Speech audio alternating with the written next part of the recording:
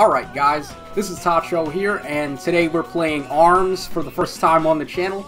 It's a really cool game and it came out just a couple of days ago, so what we're going to do is we're going to play Grand Prix and I'm going to show you guys a quick way to farm a couple of coins if you want to buy some more ARMS.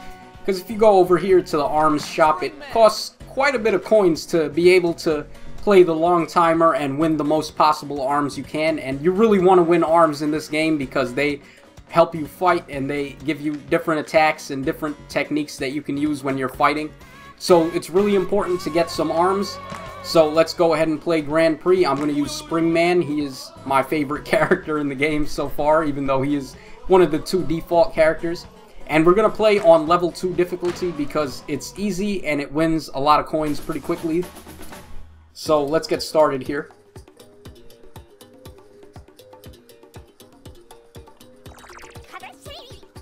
Alright, this guy here, Biff, he's basically just Sheldon from Splatoon except with a fist on his head. Alright, but anyway, here we go. We're starting the first match. We're up against the cops, Byte and Barq. I actually hate these guys, they're really annoying. Because you gotta fight the dog and you gotta fight the guy as well. And the arm that I like the most right now is the dragon, and I'm gonna show you why it's really good, especially against the CPU, because they can't really handle it. You just charge it up, and then you fire the laser beam, and most of the time you'll get them, and it does a lot of damage, but this guy is giving me some trouble. He's dodging a bit. Alright, yeah, so this is the strategy, really, to win really quickly in, in story mode, and also farm some good amount of coins. Alright. Dodging and weaving. Uh, he did a grab, he got me. If they try to grab you, you can always just punch and then the punch should be enough to knock their grab away. That's why I have the toaster, the default arm set as my second weapon next to the dragon. Because the thing about the dragon is even though it's really powerful and it's got the laser beam, it's still a little slow to start up. So I'm trying to balance that out by having the toaster alongside it. Alright, yeah, th these fights do take a bit of time. I'm just gonna rush and get the kill right there, because the CPU doesn't know how to handle rushes. Especially not on level 2 difficulty like we're playing here. And it's also a good idea to try to get a flawless, so that you get a couple more coins as a prize if you get a flawless win. And that is what we're doing here. We're trying to farm some coins so I can power myself up and get some better arms to use in rank. It's tough to get a flawless on this guy, though, because the dog just keeps on punching you. Really annoying dog. You can punch the dog to, like, knock him out, like right there I punched him. But he gets back up in a little bit, so it, it, it helps for a couple of seconds, but not really. I'm just going to use my rush to get rid of him fast there. Okay.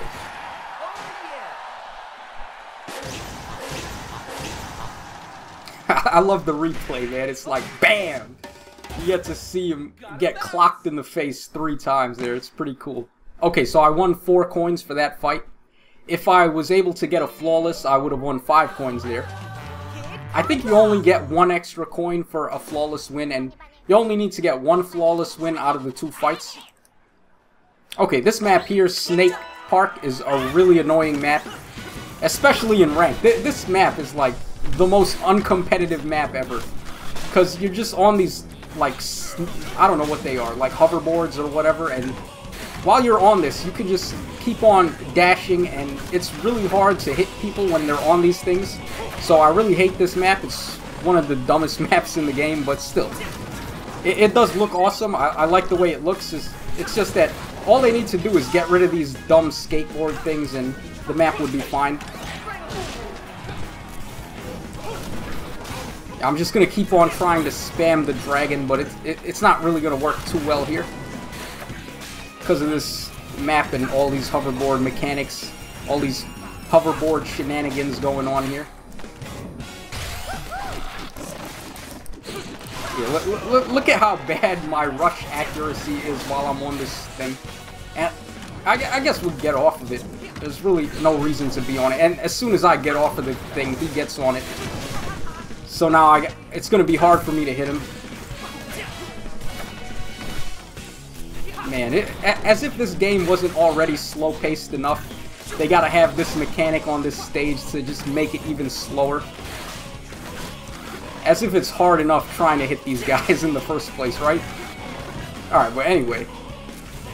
Kid Cobra, he, he's a pretty cool character. He, he has a really fast run, but I, I think, like, and he also has really good starting arms, so he's not a bad character if you're a beginner to the game. Alright, and we won through attrition there. That's how most of my ranked fights go. Win by running down the timer. There's just not many ways to safely approach and safely apply pressure unless you're doing it on defense. You can't really make a push and do it on offense in this game. It's a very, like, I guess the best way to explain it would be play in a counter punch style and you wait for them to make a move and then you try to punish them for it. But it's still really hard to punish due to the accuracy not being the best and also there's a lot of options you can also do even when you're on defense. Alright, I, I got him there. Wait till I have to fight Mummy Man and um Mechanica. Then you're gonna really see how, how OP these dragon arms are against the heavy units especially. You just lock them out completely. There's there's nothing they can do to get in your face if you just keep on applying the charge shot with the dragon arm and applying pressure that way.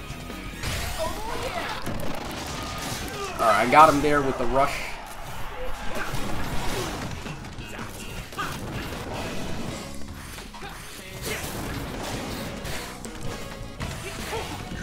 Oh man. That stupid skateboard thing is so annoying. Ah, he throws me with... I don't know which arm he used to freeze me with, but... The Elements arms are pretty good too. Like, I know the electric arm is pretty popular online because you can use it to cause the stun effect and knock down both of your opponent's arms. And when your arms are knocked down, you can't really retaliate. You're going to be stunned for a couple of seconds. So it leaves you open for a grab or a rush attack.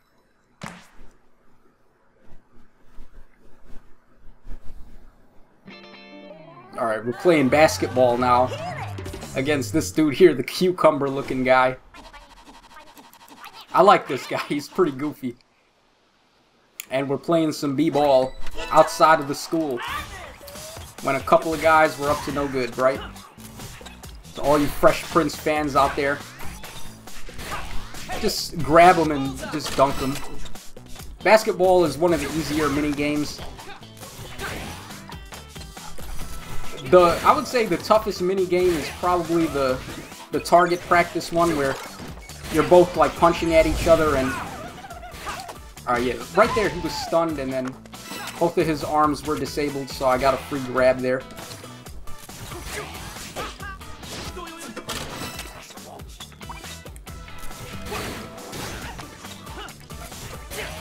I don't know why I'm charging my arms here.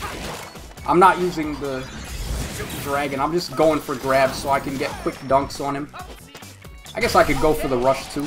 Because you can knock them off the wall on the back there and they bounce right into the hoop. Actually, guys, comment down below if you watched the NBA Finals this year.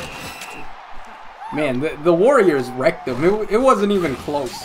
Well, I guess Game 3 was kind of close, but they almost won, actually. The Cavs almost won Game 3, but then they went and blew it, and Kyrie botched a three really late game where when it really mattered, so that that's their own fault for losing. They could have at least won that game, though. That, that would have been a game that they should have won. And then they won the next one, so they avoided the sweep. Alright, but anyway, enough basketball talk. Let me just show you guys how OP the dragon arms are against the heavy units. Because these guys are so slow, they just can't get out of the way. It's, you might be saying, oh, well, I'm only fighting a level 2 computer here, and he's not going to know how to deal with this anyway. But it, it's pretty much the same thing online. The heavy units have very little options against the dragon arm. I might actually get a flawless here. Yeah, I did get a flawless. Oh, I didn't. I guess I didn't. He must have hit me and did like chip damage or something. I must I must have been blocking and taking a couple of damage there.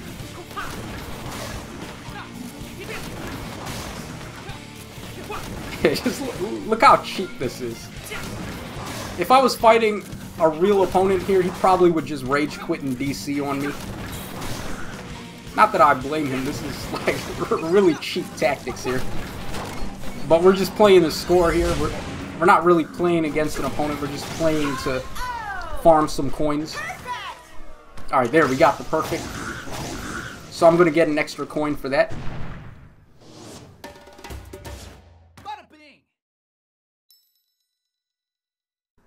Alright, so we got five coins there instead of the usual four. Okay, looking good. Alright, we're fighting Twintelle. Yo, this, this chick has the thickest booty, man.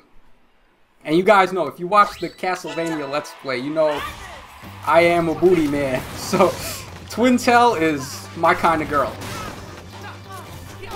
And she's sophisticated too. I like her. She she's like drinking from a teacup with the pinky extended. I like this babe. She's nice. Alright, but anyway, enough about that.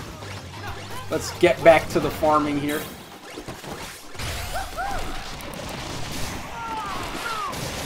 Actually, you know what? Comment down below, guys, who your ARMS waifu is. If it's Twintelle, Min Min, Spring Girl, or not Spring Girl, Ribbon Girl, or who's the other one? Um, Mechanica. Yeah, so comment down below who your ARMS waifu is. I gotta go with Twintelle because she's extra thick in the words of Aku from Samurai Jack. I love that meme, guys, the extra thick meme from Samurai Jack. Alright, but anyway. She's dodging and weaving pretty well. But I just got her there.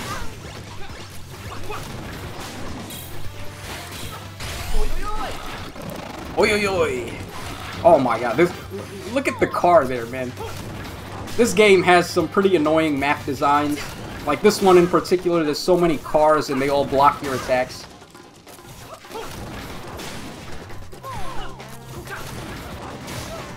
That's the reason why mainly when I play online I try to stay defensive because there's a lot of stage gimmicks to make the game even more defensive than it already is.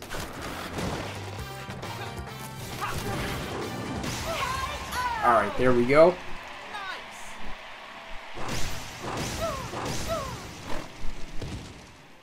I didn't get a perfect, sadly. Gotta bounce.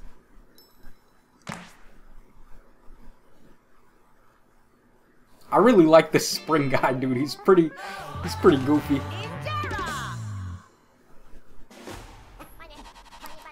Alright, we're up against Ninjara this time.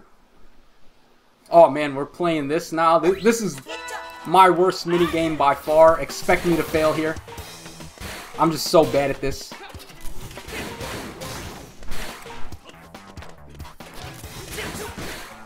I really wish that you didn't have to play the mini games on um on story mode or Grand Prix because it's just like a whole nother learning curve that you got to get used to and my arms in particular aren't very good for this like you can see Ninjara's, he, he's got the that arm that shoots out the three rockets.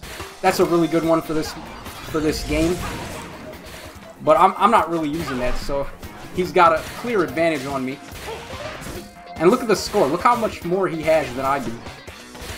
I'm trying to attack him as well to like lower his score and raise my score, but he's not letting me get him. Yeah, I'm definitely going to lose this. I should probably just pick one of those, the arms that shoot three rockets out just for this mode. Because anytime it shows up, there's really not much I can do. Alright, hopefully this doesn't take too long. If it does, I'm just going to cut to the point in time where I actually beat it.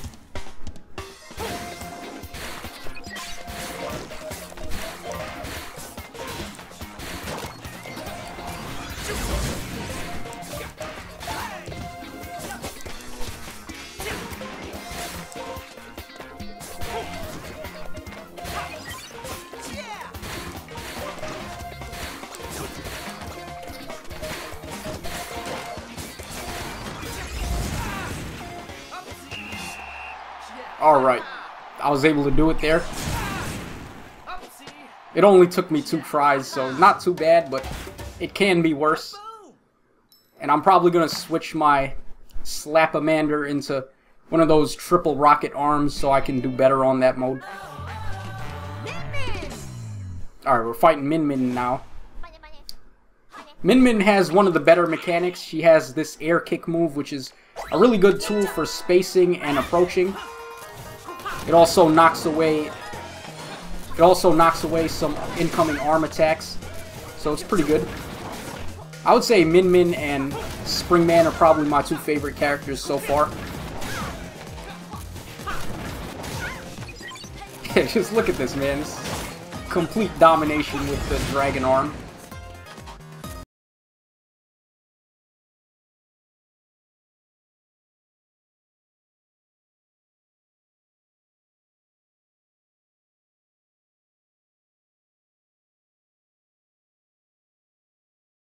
Also one of the reasons why I'm trying to grind some coins to get some new arms that I can use here. Alright. I'm going to try a rush attack. I got him. Okay, that was a perfect. So we're going to get an extra coin there. Pretty good stuff so far.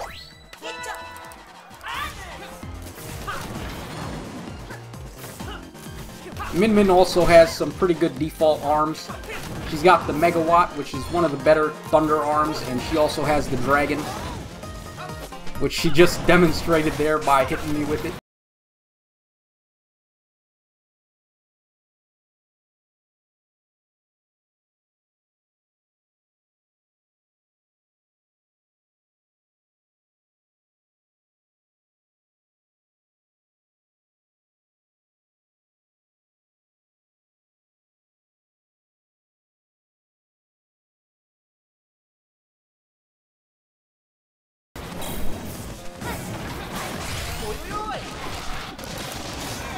Can also do like a counter punch kind of. Like if you get a perfect block and then you dash at the same time they hit you, you'll sort of dash forward and it gives you an opening to do a punch.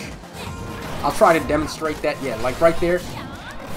I didn't really do it well, but as you saw, I was able to counter her attack and then rush in.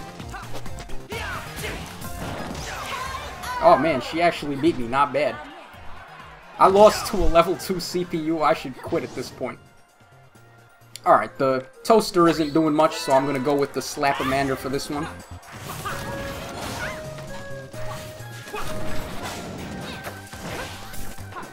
The Slapamander is a bit slower than the toaster, but it has a little more accuracy. So it's pretty good.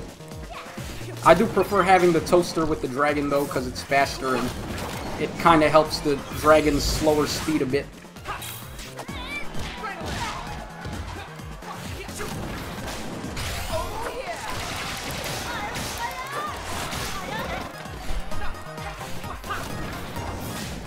This is such a Street Fighter-like stage, man. It's got the, the Chinese music, and then we're fighting in a ramen bowl, and there's a bunch of dudes in the audience cheering us on. This is something I'd expect to see in like a Chun-Li stage in Street Fighter.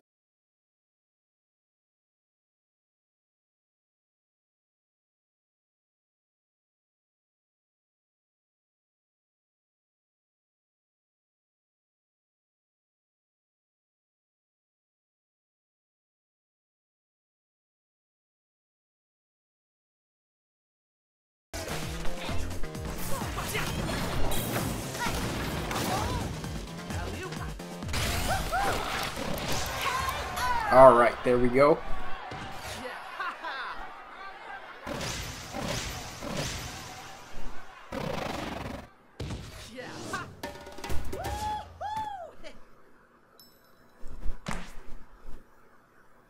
Okay, so how many more fights we got? Alright, we're on match 8. And we're fighting Ribbon Girl.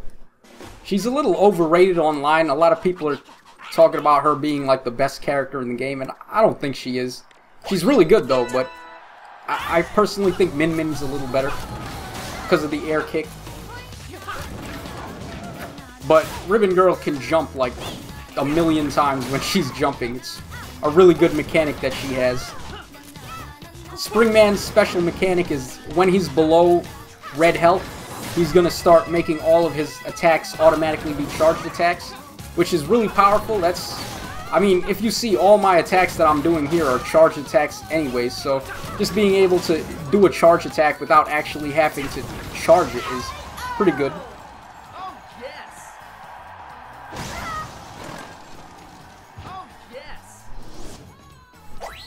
oh, okay.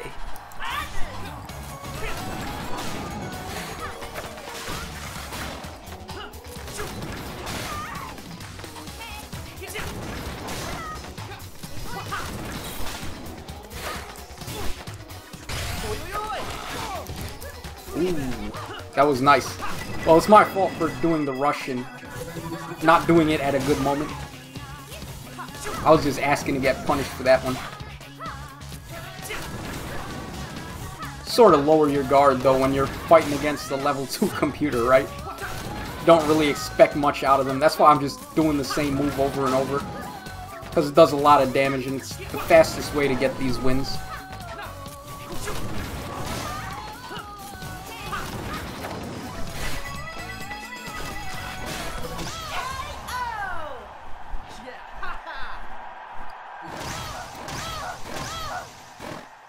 That that's pretty bad of Springman to do. Just clocks um Ribbon Girl in the face like that.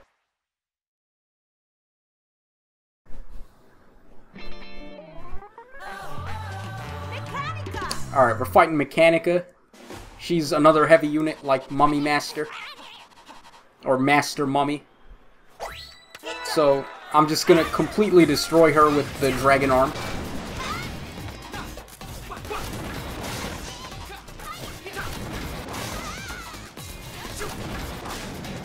Mechanica has a cool mechanic where she can actually fly. If While she's jumping, you can do a thing where she can hover in the air and fly a little. I guess that gives her a little bit more mobility than the Mummy Master, but still not as much as Spring Girl gets. I keep calling her Spring Girl, it's Ribbon Girl.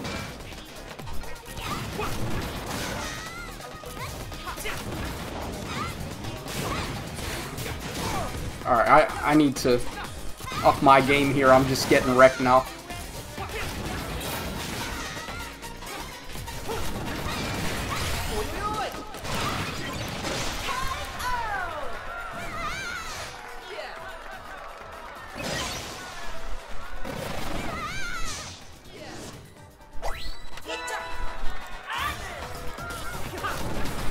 I wonder what Mechanica looks like outside of that robot suit.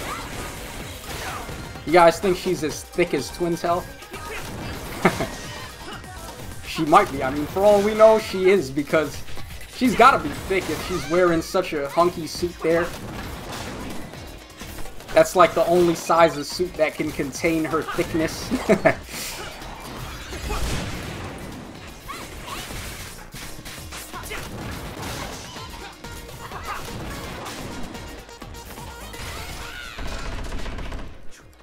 I had the Slapamander, I would have been able to punish her there, but the arms I have equipped aren't too great at punishing rush attacks. Alright, so we're up to the final match now. All that's left is the M. Bison look-alike final boss.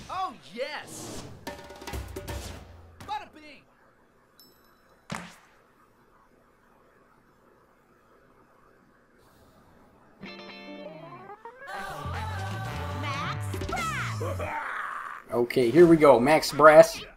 He's been confirmed as a future unit for DLC, a future character for DLC. And he is also easy to completely wreck with the dragon arm.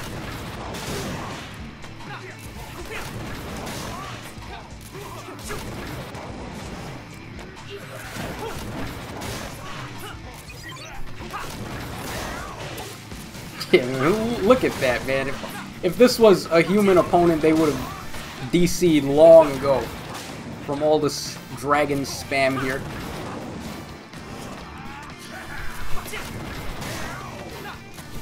I wish there was a way to do like better combos than just run around and use the same attack over and over. And we got a perfect there in the first round, so that's going to get me a better score overall. It's going to get me some more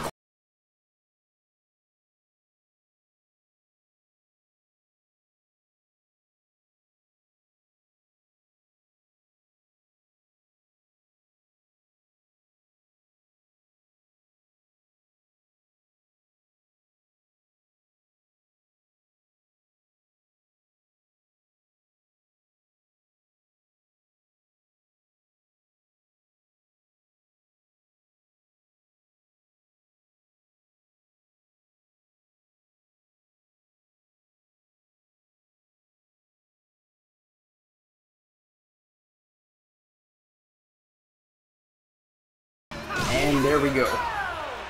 So that's it for the Grand Prix mode. And also, another good thing about playing on level 2 difficulty is that I don't actually have to fight Hedlok, the final, the real final boss. So we're able to bypass a pretty tough fight there. So it just makes the run a whole lot quicker.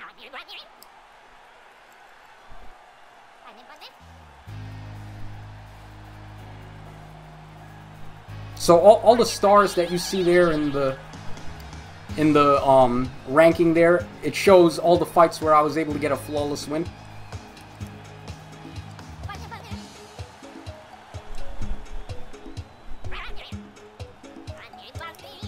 I wish you could skip this animation just to get through. Oh, you actually can. Okay. Alright, well, I stand corrected.